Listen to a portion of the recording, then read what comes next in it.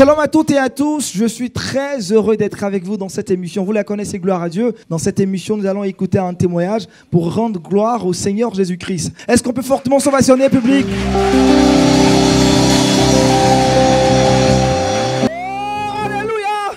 Témoignages, édification et célébration. C'est la petite fête sur LMTV tous les jeudis en 15. Notre invité du jour a été révélé aux yeux de tous dans les années 93. Il s'est révélé par son talent. Il est l'un des précurseurs, des pionniers de la musique rap en Côte d'Ivoire depuis les années 93. Et grâce lui a été donnée de rencontrer le Seigneur. Jésus a changé sa vie. De Stizo, son nom de rappeur aujourd'hui, il est pasteur, le pasteur Steve Orphos. Il va nous rejoindre, le pasteur Steve. Merci, pasteur. Merci d'être avec nous.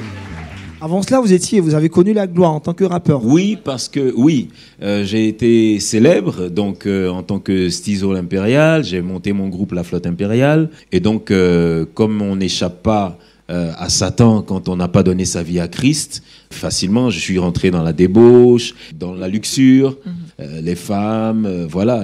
Nous essayons nous-mêmes de nous donner la gloire, d'écrire l'histoire de notre vie pour que tout le monde sache ce que nous sommes. Mais je dis que dans notre existence, c'est merveilleux quand Dieu écrit les pages de l'histoire de notre vie.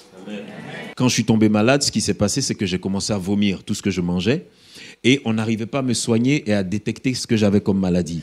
On m'a enfermé dans une chambre où je suis resté un mois et demi couché, sans me laver, sans manger, parce que tout ce que j'avalais, je le ressortais. Vous avez été abandonné en Oui, Irak.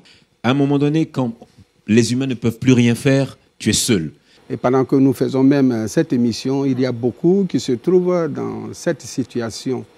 Mais euh, je dis que dans la vie, il est toujours bon qu'à un moment donné de rencontrer Dieu ou bien que Dieu nous rencontre. Euh, si on n'a pas fait cette expérience, on aura couru en vain. J'étais en train de mourir en hiver 99, dans ma couette sur mon lit, quand j'ai entendu une voix qui m'a appelé. Il m'a touché, il m'a touché.